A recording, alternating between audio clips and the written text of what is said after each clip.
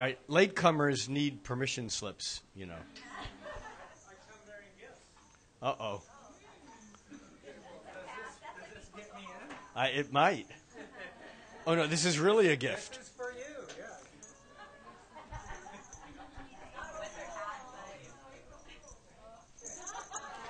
Does this make me an April Fool? It is my birthday um, on April 6th. That's a, o- almost a week away. So, okay. Now, now, now my hairdresser is going to be upset with you. Thank you, thank you for that.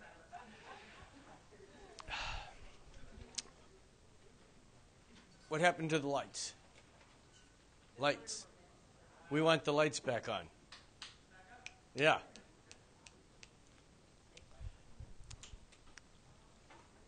Welcome to Astrology Night at Soul Food Coffee House in Redmond, Washington.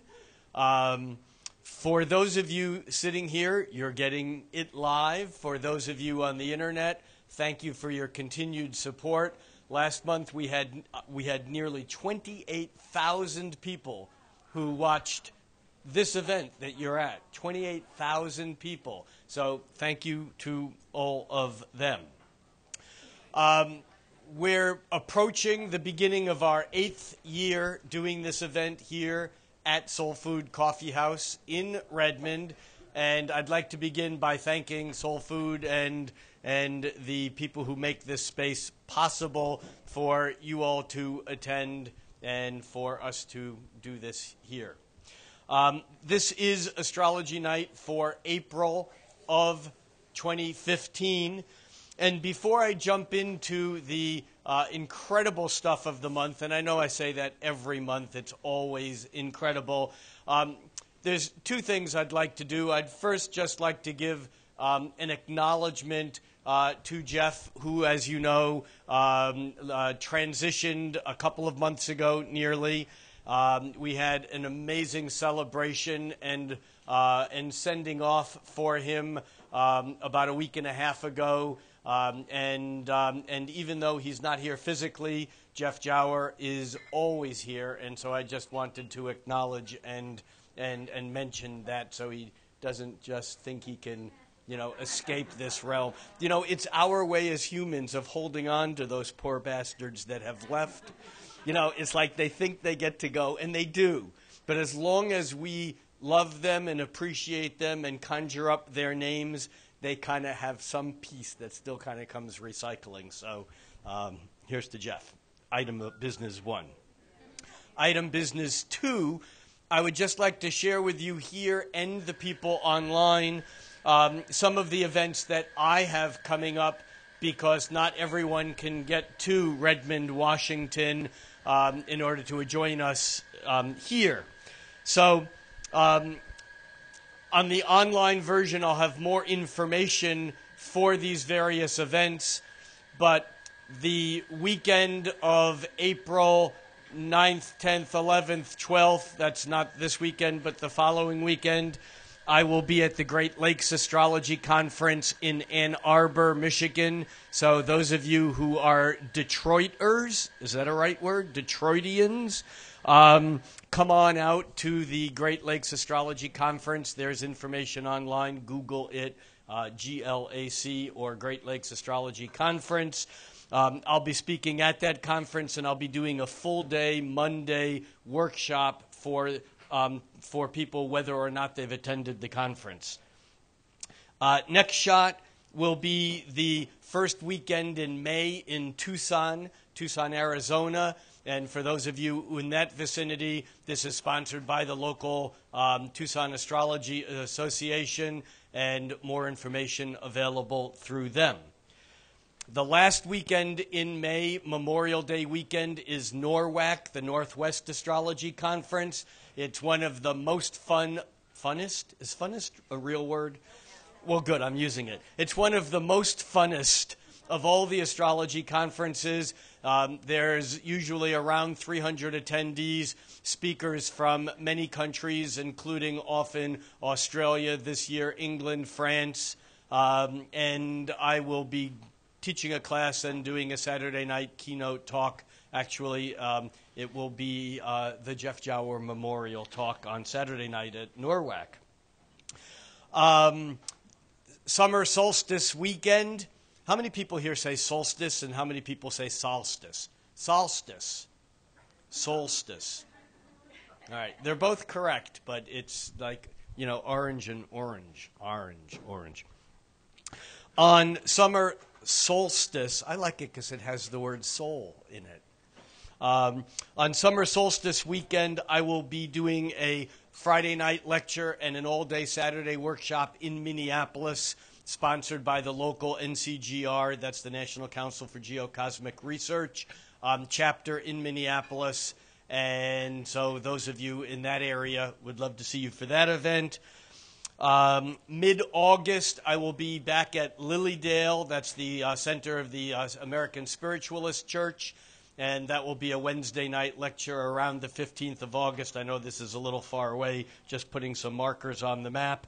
And then the end of September, exact dates will be arranged in the next week or so. The end of September, I will be leading a an eight day long astrology retreat, experiential astrology retreat in Bali. If anyone has not been to Indonesia and is looking for an excuse to spend a week in paradise having fun with enough time to absorb some of the local culture, temple rituals, and so on, um, keep your eye on that one. It will be my fifth um, workshop retreat in Bali. And they're each and every one of them very cool and magical, and I'm looking forward to it. Okay, what's that? It's, it's going to be the, the end of September into the first week of October. The exact dates are not set yet, but they will be set in the next week or so. So, thank you for indulging what uh, Click and Clack call the Department of Crass Materialism. I was like Click and Clack. I don't know whether I was click or clack, but now I think I'm either clickless or clackless. All right, so here we are on April 4th, 2015, and we are standing in an interesting place, not in space, that would be here, but in time, that would be now. The interesting thing about this moment in time is that we are just coming out of, of, of a chute um, of a birth canal. That's really what we've been in for the last several years, beginning, in fact, with, with Uranus's move into um, Aries and then the origin back in 2010, 2011, and the first of the seven Uranus Pluto squares that happened in the spring of 2012. And the seventh and final Uranus Pluto square occurred in mid March of 2015.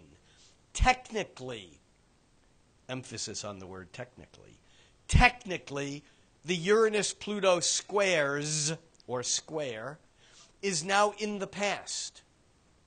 However, if we look at historical precedents to this, for example, the Uranus Pluto conjunction, which defined the 1960s. The Uranus Pluto conjunction in the 60s occurred in the summers of 1965 and 66. And certainly there was tremendous action going on at that point in time with revolutions at Berkeley, the student revolt, and, and political unrest, and the war in Vietnam beginning to secretly you know, heat up, and civil rights movement, and so on.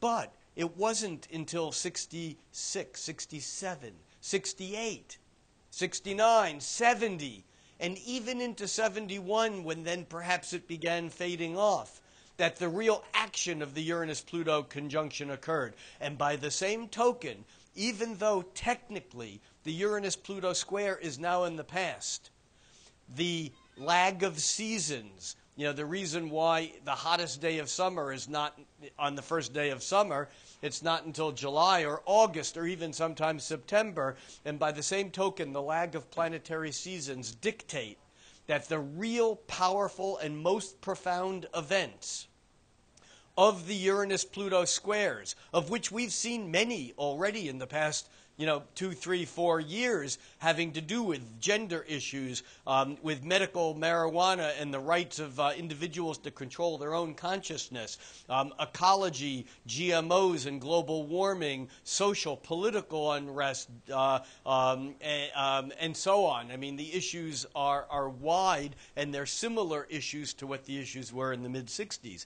However, even though our head has crowned, and we are now out of or coming out of the birth canal.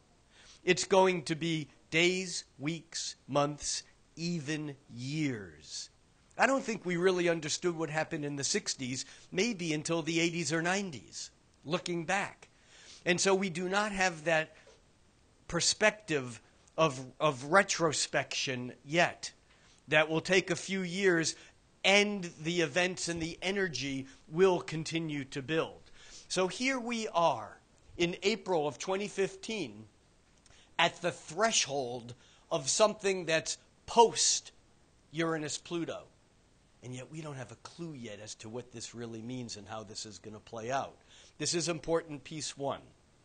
Now, bringing it back to just like we have local space where we are, we have local time the Uranus Pluto cycle is a cycle of, of centuries, not months like a moon or years like a solar cycle. So we have, we have bringing it back to a local time perspective. We also need to understand that we are right now not only at a tipping point, but we're kind of, what's that saying, betwixt and between. We're, we're, we're no longer there and we're not yet there. We're betwixt and we're between two eclipses. We had a total eclipse of the sun um, on March 22nd, on the first day of spring, at the very, very last degree of Pisces. And this was a very powerful transformational eclipse. And now, today is April 4th. On um, on April on uh, today is April 1st. I'm getting ahead of myself already. How Aries of me. Today is April 1st, and on Saturday, April 4th, we have a total eclipse of the moon. This is a full moon or a lunar eclipse. And a lunar eclipse occurs when the earth comes between the sun and the moon and so, being in this period, I've, i like inventing words, and the word that I've invented to describe this period that occurs usually twice a year between a solar eclipse and a lunar eclipse, or between a lunar eclipse and a solar eclipse, and my word is intra eclipsical.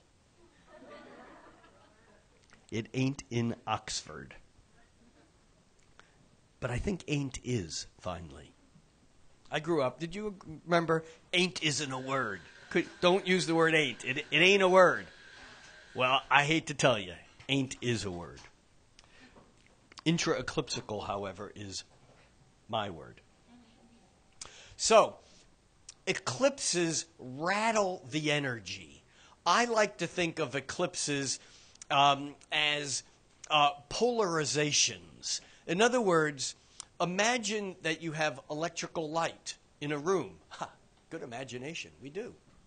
William Blake once wrote, or he wrote, What once is proved, let me do that again.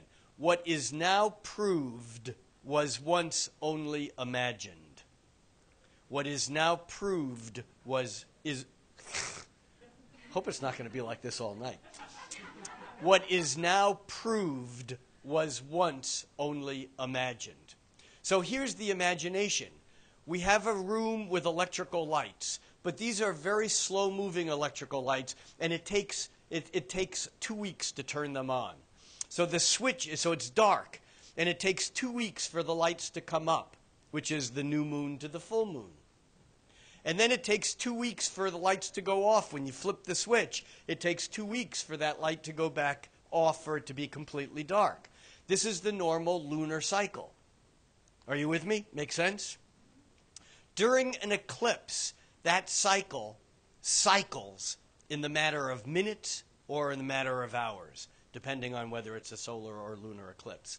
What I mean by that is that a solar eclipse, when the moon comes in front of the sun and the lights go out, in a way, that happens in a period of a, a typical solar eclipse totality lasts two to five or eight minutes. And so what happens is that the light just comes off and on. I mean, normally on the day night cycle, it's 12 hours of day, 12 hours of night. But here, all of a sudden, it's like someone's grabbed that light switch and is just going on, off, on, off, on, off, on, off. And that's the way I think of an eclipse. It's the polarization of that flipping of the switch. And it can create an epileptic fit. Now, what I mean by that is epilepsy is, is, is a disease of the nervous system where there's this rapid, uncontrollable cycling of energy that's no longer in control. And this is what happens during an eclipse. At least this is one way of looking at it. So that during a lunar eclipse, it's taken two weeks for the moon to become full, and then in the course of a few hours, the moon is dark and then it's full again. And so it, it tweaks our brain. Oh, I heard a good, it's, it's, a, it's a brain wedgie. Sigrid, thank you. Sigrid, who works here, said that word this afternoon. I said, I never heard that. Is that like a, a word? She goes, It's my word. I go, Okay, can I use it? She said, Yes. But that's what it's like. It's like it's like a neurological brain tweak. So, in traditional astrology, eclipses, like many things, don't get a good rap. I mean, when you look at ancient astrology, life was hard. You know, a, a certain, you know, Mars conjunct Saturn, death by a wild dog. You know, I mean, how many people do you know? I guess people do die that way. But at one time, that was actually a real concern. Our concerns are different these days. Um, eclipses often signified the fall of a king or some change in power. Eclipses kind of rattle the energy and shift it. And I look at eclipses as having a Uranian influence. The planet Uranus is the planet of lightning striking. We'll talk about Uranus more in just in a, in a few moments. But remember, Uranus has been squaring Pluto on and off for the last, you know, several years. And even though technically the two of them are now past their exact conjunction, if we look at a chart for, for tonight, April 1st, we can see that Uranus is at 16 degrees and 11 minutes. That's about 16 and a quarter, 16 and a quarter degrees into the sign of Aries. And Pluto is at 15 degrees and a half, 1529 minutes, 15 and a half degrees of Capricorn. What that means is that they are still within one degree they're still within, they're actually three quarters of a degree or 45 minutes of arc from being exactly 90 degrees. And this is a cycle that's a several hundred year, couple hundred year cycle. So we give this some room. The astrology word is orb. We allow it an orb. My word is slop factor. We give it a slop factor. The universe is not as exact as our minds would like to think it is. There are no exact cycles. We like to round things off and make them exact. Okay, so we have this Uranus Pluto. Uranus is moving faster than Pluto. It does. So Uranus will move 16, then 17, then 18, while Pluto is still plodding along here at 15, eventually getting to 16. And so that's why over these last few years, Uranus has moved into the 90 degree, that's that red line, into the 90 degree square with Pluto, Uranus, the planet of shock and awe and electrical, you know, um, lightning, um, awakening. When the light bulbs go on and the nerves fire and you go, I got it. Epiphany, awareness, illumination. These are all Uranus words. Pluto, on the other hand, is, works on a different time cycle. Uran, um, Pluto is, is slow mo. Pluto Uranus is an 84 year cycle. Uranus is weird. Its north pole faces the sun. I mean, it's like a bowling ball. It's everything about Uranus is weird. Pluto, on the other hand, is a 250 year cycle, four times a millennium. That's how slow it is. Okay, it's 243 and a half years or whatever. 250 is close enough for us. Now, Uranus functions instantaneously. It's that immediate revolution, rebellious surprise, shock. In the moment, Uranus, here and now. Pluto, on the other hand, is like a glacier.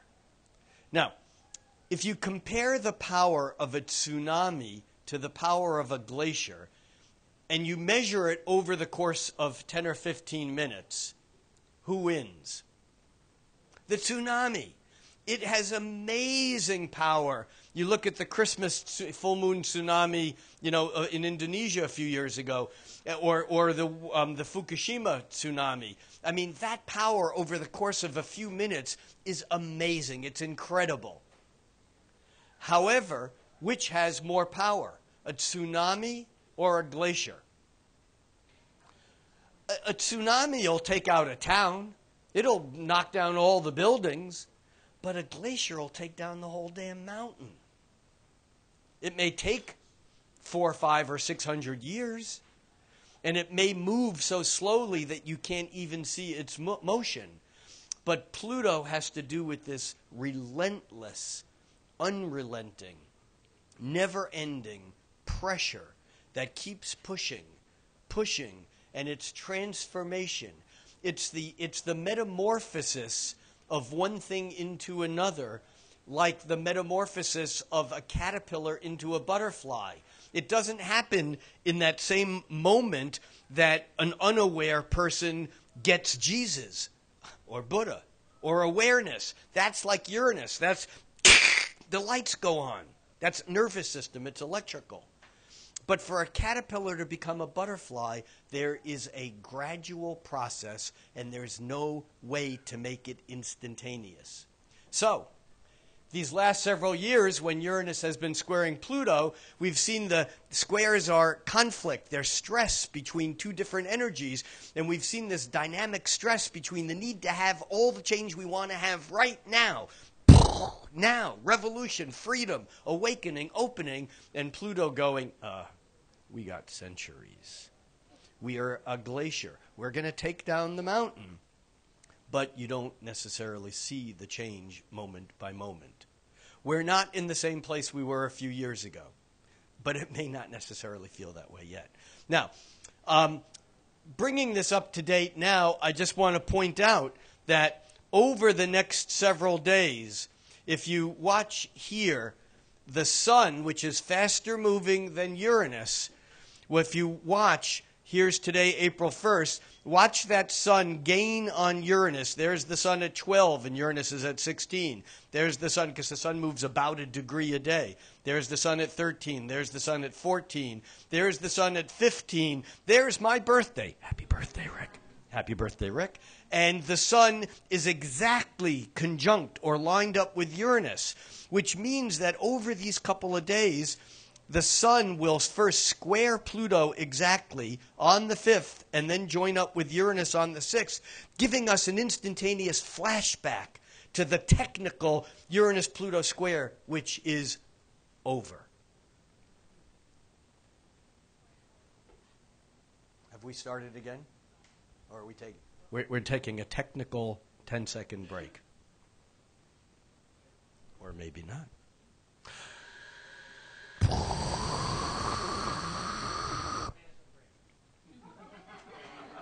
How human to take advantage of things.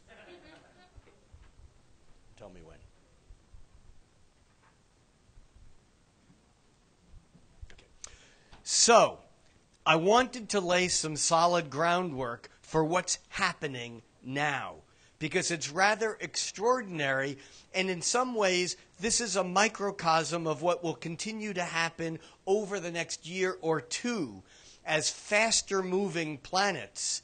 And when I use the word planets as an astrologer, I use it in the ancient Greek meaning of a wanderer, which includes the sun and the moon, and in fact Pluto, regardless of what labels they get by fashion or science. So, over the next months and years, as the faster moving planets like the Sun, like the Moon, like Mercury and Venus and Mars, and even Jupiter, but we're now getting out to the slower moving planets, as these faster moving planets line up with and make conjunctions, that's an exact alignment, or squares, that's 90 degrees, or oppositions, that's 180 degrees.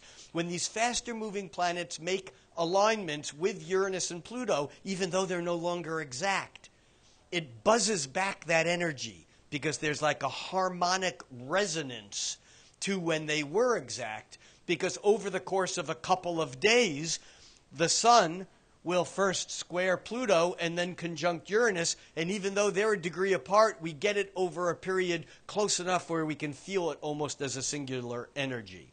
Now it gets interesting because on April 4th, and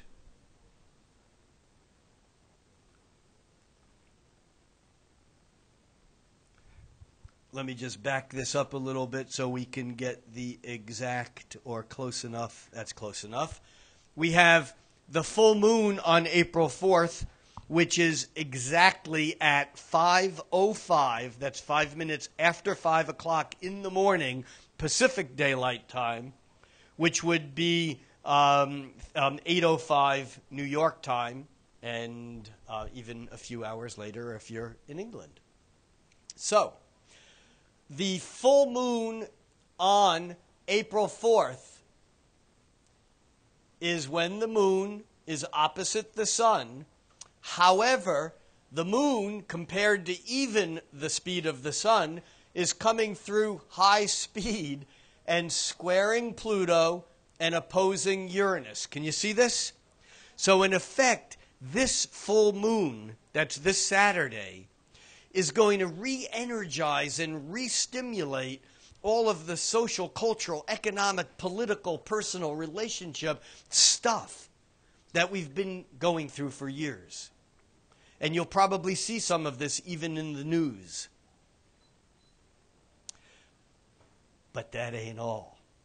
Because this full moon is a very particular full moon. It's also an exact eclipse of the moon, which means that it's a total lunar eclipse, meaning that the sun and the moon and the earth are all in exactly the same plane, so that the earth casts its solar shadow onto the moon. And if you can see it, and in fact, we will be able to see it very early in the morning, the eclipse will not play through here until it's already dawn. But if you get up on Saturday morning before dawn, you can actually see in the western sky the full moon beginning to set, and it will be blood red. Now, lunar eclipses are not that uncommon. I've probably seen a half a dozen of them in my lifetime. Um, and uh, and all you need to do is know where they are and go out and look look at them. You know, if it's dark, during the full moon, you, and there's an eclipse, a lunar eclipse, you can see it. The solar eclipse, however, is different. Solar eclipses make very thin paths along the Earth, and if there's a solar eclipse, rarely do you get to see it. If it's a total eclipse, you have to go to where the path is. I actually did go to and see a total eclipse of the sun in the very south tip of England in August of 1999, and it was quite an experience. But if you were in London, just a couple hundred miles away, less than that, there was no total eclipse. So, this full moon is a, an eclipse, but it's not just an eclipse. It's an eclipse that involves the Uranus Pluto square. And therefore, and it's also my birthday. Well, my birthday is a couple days after. I'm in Aries. I get to say it's my birthday. Oddly enough, I don't really celebrate it much, but I like to talk about it. Okay, so what does this mean? Eclipses rattle time. They're, they're again, think of that light switch going on and off and or blinking a lot. You know, that strobe kind of effect. And it's just like things become out of whack. I, there, I used the word earlier. I said eclipses are Uranian. There's this kind of an awakening, a jolt. Um, it, it often, if energy is blocked or stored up, often eclipses will free that energy, which is why they get a bad rap. If you live in a, uh, in a repressed society, if you live in a repressed or suppressed personal um, uh, container, then when those energies are freed suddenly, it's not necessarily a pretty picture. You understand why these energies are not viewed in traditional classical astrology as something good? However, I would suggest that if one has a spiritual practice, if one is living with, with, with a lean towards increasing awareness, then eclipses can be absolutely magical because they kind of temporarily create this mm, like warp factor. You know, in the, old Star Trek, all of a sudden everything's different, and time speeds up. Oh my God, isn't time fast enough already? Well, this in some ways is beyond time, and so my suggestion for for those of us who are here and now or watching this prior to the eclipse on April 4th is that we still have some time. We have a week or so that's still an opening to push and to force those events which we've wanted to happen because because if you don't one of my laws of how Uranus works can be summed up with this statement. If you don't take responsibility and act like the lightning, you will be a lightning rod and attract it. Think about this in your life. How many times have you had an accident or something happened or someone suddenly did something either to you or said something or, or whatever that in some way felt out of place and sudden and you didn't expect it, and yet when you look at it, you realize that there was stuff that was hidden or buried and no one was talking about it, and all of a sudden the lightning struck and it, everything came out in the open. Well, that's, that's how eclipses work. So, um, we have a lot of other stuff I guess got close to my mouth and seemed really loud all of a sudden.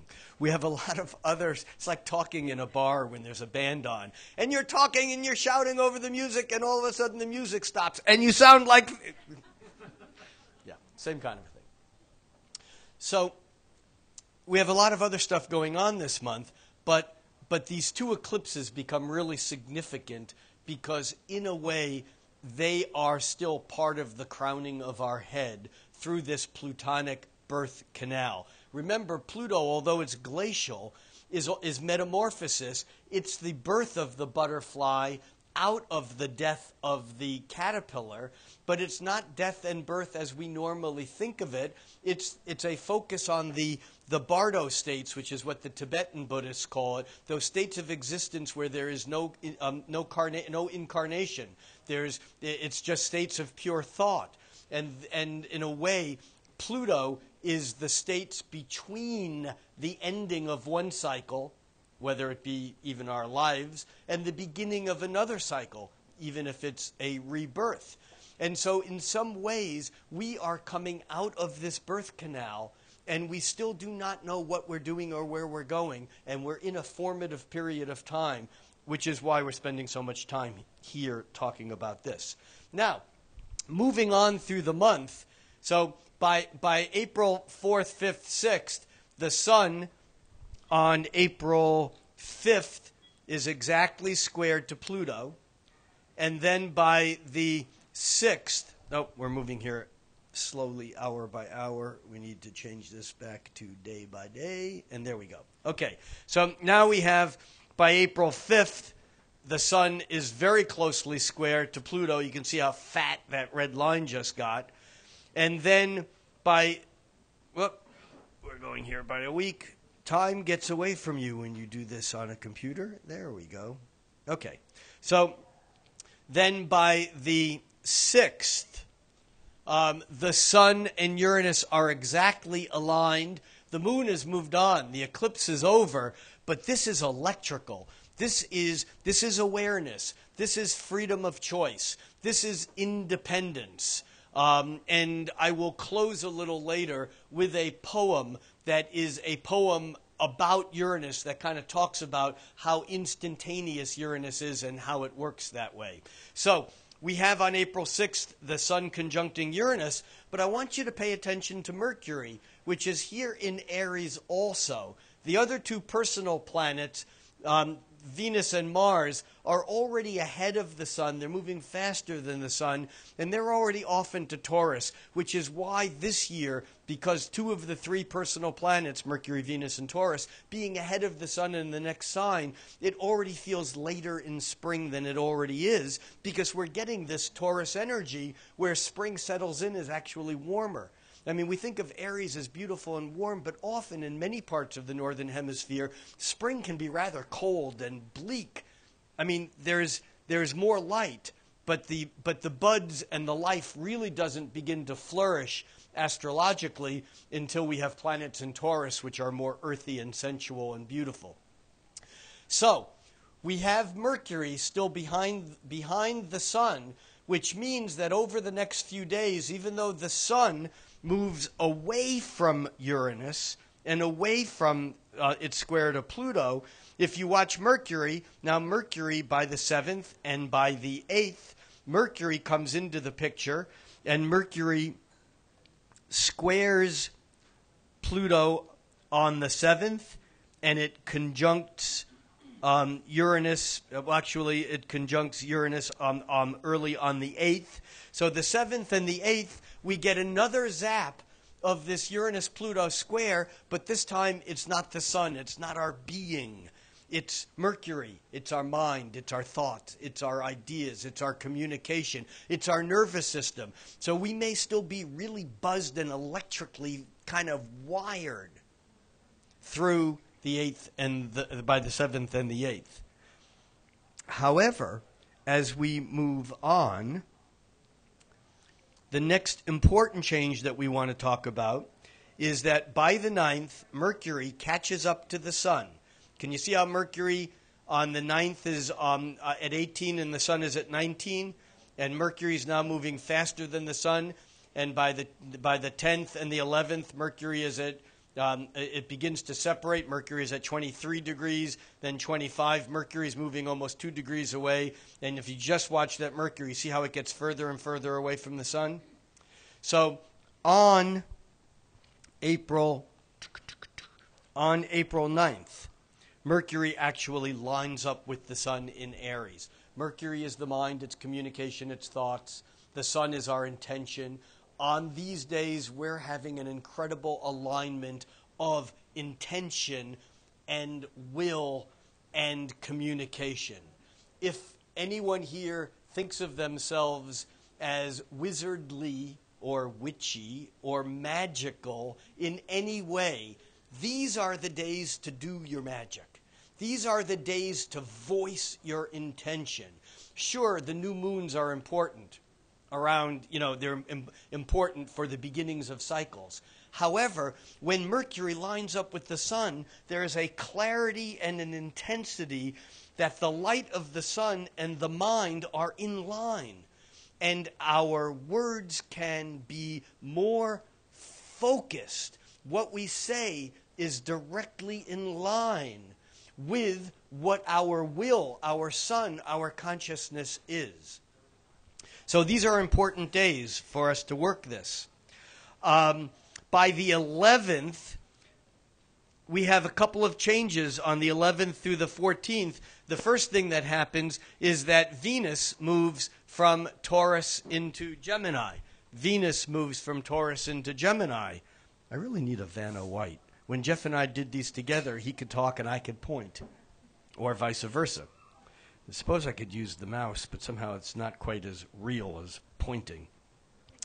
Anyhow, um, Venus moving from Taurus into Gemini. This is another zap of the next layer of spring. There's, there's movement, there's buzz. Uh, Gemini is a communication oriented sign, and over the next couple of months, we will talk about both more, more about Taurus and about Gemini. Right now, we are talking more about Aries as the first step, the beginning of the life coming out of the birth canal, um, that, that kind of first burst of energy. So, on the 11th, we have Venus moving into Gemini, but then that's followed on the 14th with Mercury moving into Taurus. Now, we're kind of setting the tone for the sun's movement into Taurus just a couple of days later. The sun moves into Taurus on the 20th. And you can see that by the 20th, we have all those planets which were clustered in Aries. Now we have a pileup of planets in Taurus. And here's the deeper meaning of the shift of this time of year. We're coming out of Pisces, the end of winter, the, the garbage collector refuse of the zodiac. Everything washes into the sea. And that's Pisces. It's the greater ocean. We're all fish swimming around in this big ocean. In Aries, we're birthed onto the shore and we have an individual trajectory. In Taurus, it begins to gain solidity, and by the end of April, with Mercury and Mars and the Sun, and actually just for a bit, we have the moon there also, and the new moon, interestingly enough, on the 18th occurs while the sun is still in Aries. We've been in this cycle for several months now where the new moon has happened at the very end of a sign rather than at the very beginning. That'll, be, that'll shift. And in a way, it's like wanting to get ahead of ourselves. It's, it's like we're, we're off into, into Taurus land, but, but we're really being birthed back in Aries. And so it's, it's, it's an odd juxtaposition of time that I think goes back to these eclipses that just creates these, these weird kind of cycles within cycles that are at different speeds. This new moon in, in Aries um, is exact on April 20th at 2:40. Nope, sorry, sorry, sorry. Um, it on, on, April 18th at 11:56 a.m. here in Seattle. That's Pacific Daylight Time. So just before noon, there's the exact um, new moon in Aries. However, it doesn't last long. We get this impulse to create, to do something new, to start something, and almost just a couple of hours later, the moon moves into Taurus. And then the following day, actually on the 20th, early on the 20th, the sun moves into Taurus. And then we're kind of like slowing down and making it work. We're grounding out our energies. We're, we're being more uh, down to earth. Taurus, the bull. Taurus, the bull, that when it's not moving, you ain't going to get it to move. And when that bull is moving or when the cows are going back to the barn, you ain't going to stop them. I don't know if anyone ever spent any time on a farm around bovines, but when they have energy going, either in movement or not movement, you're not going to have them change direction really quick. And if you know Tauruses in your life, if they're laying on the couch watching the game or watching a movie, if they're sleeping, you're not going to get them up any faster than they're going to get up. But if they're mowing the lawn or doing a project and you want them to stop for dinner, forget it. They're in motion and they're going to continue doing what they're doing. Fixed sign. Um, by April 21st and 22nd, we get an interesting um, zap from Mercury and Mars, which in Taurus are moving. Mercury's moving faster, and Mercury catches up to Mars. When Mercury catches up to Mars exactly, it is on April 22nd, but on the 21st, we're already getting them um, we're, we're, we're getting them kind of on the 21st and the 22nd. Mars and Mercury make a harmonious trine to Pluto. And that's this big, thick red line. And here, the energy is practical, it's grounded, it's down to earth. Pluto is like a resource. It's like a battery that never dies. It's the power of the glacier or the power behind a volcano that even after one eruption, that power is still there, the intensity. And so um, by the end of April, the sun has moved into Taurus. We're getting this feeling of you know the, you know the song uh, the Ravel Bolero from the movie Ten. It's not from the movie Ten. The movie Ten is from it, but. Bolero builds like a bull. It starts off soft and it builds and builds and builds. And we forget that the, that the young energy of spring, even though Taurus is a feminine sign, it's related to Venus, that there's a building energy behind it. And we're feeling it this year early on in Taurus, especially as Mercury, the communicator planet, lines up with Mars. And we're going to say what we're doing. We're going to talk about it. We're not going to be stopped. If there's issues we need to express, we're going to express them. And we got the generator from Pluto going in a harmonious trine, and these could be some really powerful days. Um, by the 22nd, Mercury actually catches up with Mars, then it moves ahead. Um, during this period, also, um, we're beginning to anticipate the next round of change. Venus has moved on into mid Gemini, and by the end of the month, Mercury, jump ahead, Mercury pops into Gemini also, and by in May, we will see both Mars um, and um, Mars and the Sun move into Gemini, which kind of scatters the energy and it makes it more playful and more whimsical and has more movement to it, kind of like that kite on a spring day. So, um, looking at this month kind of, you know, as, as, as a whole, it's important to understand that we are on a bit of a precipice, but we don't know what we're falling into. Just like the baby, as it's being birthed, has no way of knowing the life ahead of it. It's still living, even though it's in this world, there's a part of it that's still in the experience of floating in the womb and the rudeness of being here now. And, and so, in a way, over these next weeks and months, we may have some of that same experience. And, and I think that what happens is that um, that as the planets build up their, their power into Taurus, that the craziness is anyone feeling crazy these days or see it around? I mean, I, I, and of course, I don't mean the clinical craziness, but I mean just that wired energy. And, and it, yes, it's spring. And to quote one of my favorite poets, E. E. Cummings, the world is mud luscious and puddle, puddle wonderful. And it's spring, you know? This is a cool time of year because there's a buzz. But behind that buzz, there's like it's like the buzz behind the buzz. And the buzz behind the buzz is the fact that Uranus, in its long term stay in the sign of Aries, when the sun is moving through Aries, it's picking up on that buzz, and we're all a bit crazy.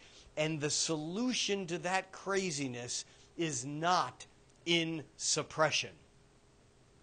If you feel a little crazy, good. That just means you're in tune with what's going on. If you don't feel a little crazy, then I would suggest that you may need some therapy. because you're probably in some state of denial. Craziness isn't bad. Anyone, I mean, it certainly can feel crazy or bad while we're going through it, but, but I would recommend reading something like um, um, Knox or uh, R.D. Laing, um, the, the, um, the, psychology of, um, the psychology of experience. Is that what the, his book was? That's, I think. Anyone know? Um, who talked about how the psychotic episode was actually a break into illumination and awareness. And that many people who are institutionalized are not crazy, they're having kundalini, chi flushes. They're experiencing something that in another culture might be considered natural, and if they were taught to dance with it and move with it, that they might not end up being, you know, electroshocked and, and drugged like in our culture. So if you're not feeling crazy, I think it's good to fake feeling crazy a little bit. And if you're feeling crazy, understand that in this breaking out of the status quo, of the, of the structures that bind and restrict us, that in breaking out of these kind of restraints, that that is where the future lies and that is where the seeds for what's ahead um, comes from. The seed, that's where the seeds come from.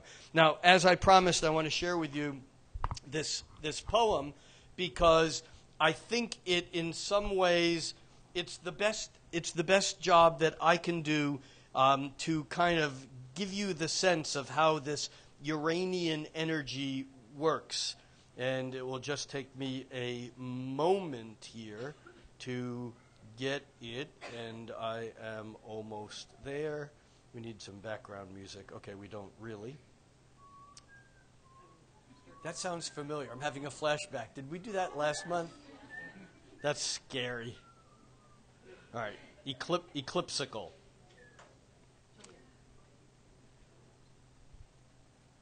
Okay. The, the name of this poem is present tense.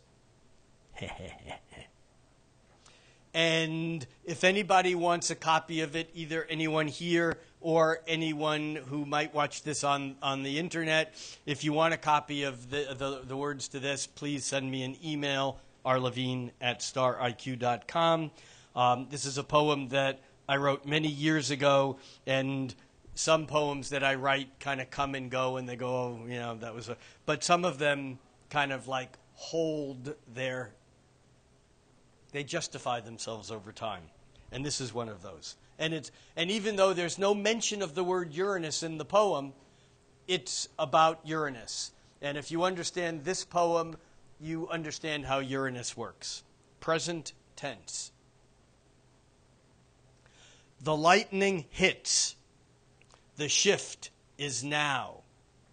I close my eyes and take the vow to release the future and the past, to focus on the present vast, extending through infinity, extending far as I can see.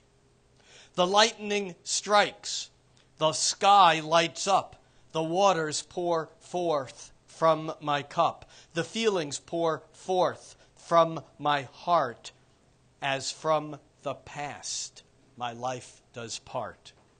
The walls of safety tumble down. My head goes spinning round and round. I'm standing high out on a ledge. I leap onto the razor's edge where form can split and separate. Ambivalence turns to love and hate where unity is sliced in two. Choice shows us what we must do. Where issues are forced, so we must choose something to gain, something to lose. Something feared, something desired. The pressure to choose makes me grow tired. Something we want, something we fear. Excitement mounts, the moment grows near. Time speeds up and my heart beats fast. I fear this moment will not last. But then I remember the razor's edge and the illusion of feeling like I'm on that ledge. You see, the moment of now is all that exists. Create past and future, then something resists events in the future that hurt long ago creating rough water in time's river flow. For time is a river that flows to the sea. The storm waves dissolve if we just let them be. When the past and the future are locked in desire, the rapids build, the waves grow higher, but it's all in the mind, for the ledge is unreal. The fear of the fall is the fate that we seal. The razor is safe if we stay here and now. So I release unborn futures. Let me do that again. The razor is safe if we stay here and now. So I soften my vision and repeat my old vow. I release unborn futures, letting go of the past. And the infinite present grows cosmically vast.